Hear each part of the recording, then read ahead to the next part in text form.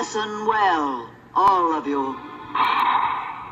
The princess shall indeed grow in grace and beauty, beloved by all who know her. But before the sun sets on her 16th birthday, she shall prick her finger on the spindle of a spinning wheel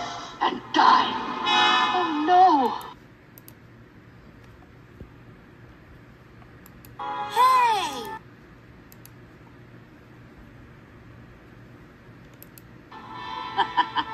Seize that creature!